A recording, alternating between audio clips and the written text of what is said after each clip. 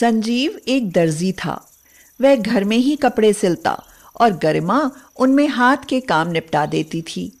अपने परिवार की जिम्मेदारियों से दबे हुए वो कभी अपने बारे में सोच ही नहीं पाए। उनकी बेटी नित्या सातवीं कक्षा में पढ़ती थी, लेकिन आगे की पढ़ाई का खर्च उठाना उनके वश की बात नहीं थी। संजीव बोला, गरिमा, बस आठवीं ही बात है। ज़्यादा पढ़ेगी तो लड़का भी तो अच्छा चाहिए होगा ना? ज़्यादा पढ़ा लिखा लड़का मतलब ज़्यादा दहेज। तो गरिमा ने कहा तो क्या आठवीं पढ़ाकर घर में बिठा लोगे? डर लगता है। दर्जी हूँ दहेज कहाँ से दूँगा? अभी पिछले साल तक तो बहनों की शादियों के लिए कमाया है और आज अपनी ही बेटी के लिए मेरे पास कुछ नहीं है। चिंता मत करो जैसा उसकी किस्मत में होगा, वैसा ही होगा। नित्या की आठवीं पास हो गई। आगे पढ़ने की ख्वाहिश उसके मन में ही रह गई। अब क्या था? बस पूरे दिन घर में चूल्हा चौका ही संभालना था। गरिमा बोली, बेटी, अब कुछ सिलाई कढ़ाई सीख ले। अच्छे बुरे समय में तेरे काम आएगी। तो नित्या ने कहा, माँ, पढ़ाई काम आती, वो तो आपने करने नहीं दी। सिलाई कढ़ाई मेरे क्या काम आएगी? हाँ। गरिमा ने कहा आएगी बेटी वह तो हमेशा काम आएगी। कोई भी सीखा हुआ काम बेकार नहीं जाता। और माँ बाप की मजबूरी भी समझ नित्या उनके पास इतना पैसा नहीं है। सिर्फ़ सिलाई से वो कितना कमा सकते हैं? नित्या वहाँ से मुँह बनाकर चली गई।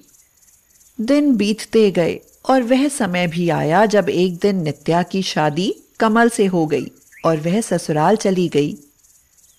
नित्या ने कमल से पूछा क्या बात है कमल? आ, तुम्हारे घर में हमारे स्वागत के लिए कोई नहीं है? अरे जब कोई है ही नहीं तो कैसे होगा? क्या तुम नहीं जानती कि मैं अकेला हूँ? मेरे पिताजी मेरी माँ के खून के जुर्म में जेल में बंद हैं। तो नित्या ने कहा क्या? मैंने सुना था इकलौते बेटे हो लेकिन कोई भी नहीं है ये नहीं जानती थी। कमल बोला अच्छा अंदर आ जाओ।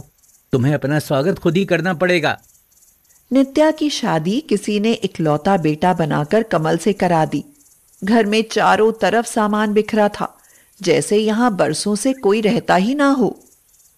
नित्या बोली ये सारा घर अस्त व्यस्त पड़ा हुआ है। हाय कितनी गंदगी है। तो कमल ने कहा अब तुम आ गई हो ना। अब अपना घर अपने हिसाब से सजा लो। कुछ दिन बाद पता चला कि वह घर भी किराए का था और हद तो तब हुई जब एक दिन कमल शराब पीकर आया। नित्या एकदम से टूट गई और बोली मेरी ज़िंदगी के साथ तुमने इतना बड़ा खिलवाड़ क्यों किया? तुम अकेले हो शराब भी पीते हो ये घर भी किराए का है फिर तुम्हारे पास है क्या कमल? अरे जबान तो ऐसे चला रही है जैसे कि तू किसी अफसर के घर जाती।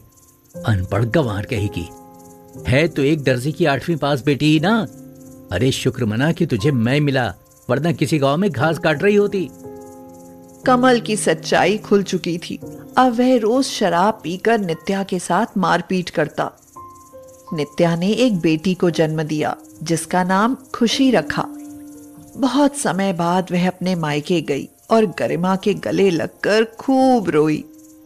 गरिमा बोली, इतना क्यों रो रही है? हमें बता तो सही कि क्या हुआ? तो नित्या ने दुखी होकर कहा, माँ, कमल धोखेबाज है। उसके पिता खूनी है। अपनी ही पत्नी का खून करके वो जेल में है। और जिस घर में वो रहता है ना वो किराए का है माँ। वो शराब भी पीता है और मुझे मारता भी है। संजीव हैरानी से बोला क्या? हमारे साथ इतना बड़ा धोखा? तो गरिमा ने कहा शांत रह नित्या अब वो जैसा है तेरा पति है। अब एक बेटी है इसके बारे में सोच। शायद तेरे भाग्य में ऐसा ही लिखा था।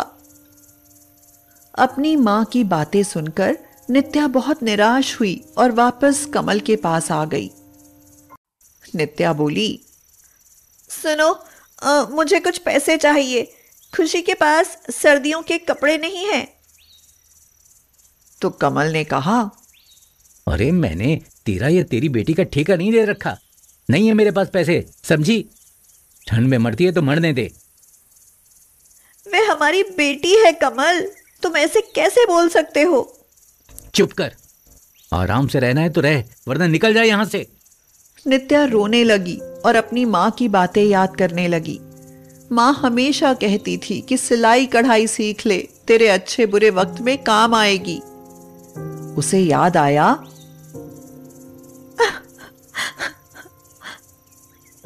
मेरे पास जो स्वेटर है उसमें से खुशी के लिए ड्रेस बना देती हूँ। हाँ मेरा क्या?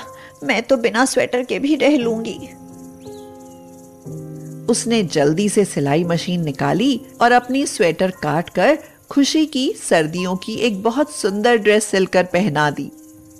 मकान मालिक की लड़की राधिका बोली भाभी ड्रेस तो बहुत सुंदर है। कितने में खरीदी? नित्या बोली दीदी मैंने ये खरीदी नहीं है, खुद सिली है। सच में, विश्वास ही नहीं हो रहा कि ये आपने सिली है। आपने ऐसी सिलाई कहाँ से सीखी? कहीं से नहीं, दर्जी की बेटी हूँ, इसलिए पिताजी को सिलते देखकर सीख गई। क्या आप मेरी बेटी के लिए भी सिल दोगी? मैं आपको पैसे दूँगी हाँ। हाँ मैं सिल दूँगी। नित्या को अब एक काम मिल गया। वह आसपास के कपड़े सिलने लगी। कमल बोला अरे वाह तू तो घर बैठे कमाई करने लगी है। ला दे कितने पैसे हैं तेरे पास? तो नित्या ने कहा मेरे पास पैसे नहीं है। देती है या नहीं? नहीं दूँगी। कमल ने उसके बाल खींचते हुए कहा नहीं है तो उठा ये मशीन और निकल यहाँ से। नित्या ने आँसू पोछते हुए कहा ठीक है, जाती हूँ। आज के बाद मेरा तुम्हारा कोई रिश्ता नहीं। नित्या अपनी मशीन और कुछ कपड़े लेकर खुशी के साथ घर से निकल गई और सोचने लगी, हे भगवान, कहाँ जाऊँ? पिताजी के पास जाऊँ तो उन पर बोझ बनकर रहूँगी। क्यों ना किराए पर ही एक छोटा सा कमरा ले लूँ? वहाँ भी तो किराए पर ही रहती थी। लेकिन किराया देने के लिए पैसे कहाँ से आएँगे? अरे, मैं ये कैसे भूल गई कि मैं एक दर्जी की बेटी हूँ? मेरे पास सिलाई मशीन है, मैं कपड़े सिला करूँगी हाँ। काश माँ और पिताजी ने मुझे और पढ़ाया होता तो कहीं नौकरी कर लेती, मगर मैं अब सिलाई से ही अपना काम शुरू करूँगी हाँ। नित्या ने एक छोटा सा कमरा किराए पर ले लिया। वह मकान मालकिन से बोली दीदी अभी मेरे पास किराए के पैसे नहीं हैं। मैं मैं ना बहुत अच्छी सिलाई करती हूँ। आपको अपने जो भी कपड़े सिलवाने हो मैं सिल दूँगी। आस पड़ोस में भी बता देना कम पैसों में सिल दूँगी हाँ। मकान मालकिन ने कहा कोई बात नहीं मेरे पास सिलवाने के लिए कुछ कपड़े रखे हैं इन्हें सिल देना। तुम इतने पैसे किराए में कम कर देना। नित्या ने उसके कपड़े सिले।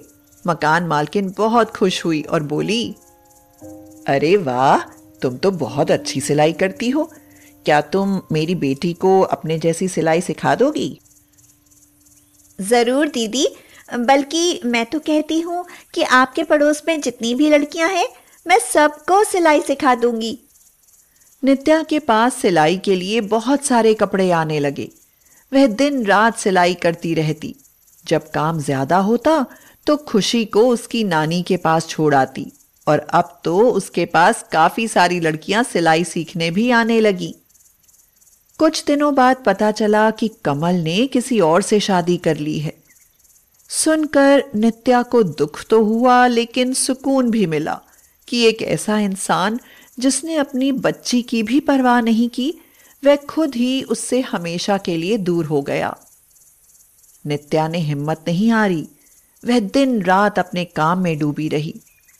अब इतना बड़ा काम किराए के घर में बहुत मुश्किल होता जा रहा था। इसलिए उसने अपने लिए एक घर खरीदा और उसमें एक बुटीक खोली। चार साल बीत गए।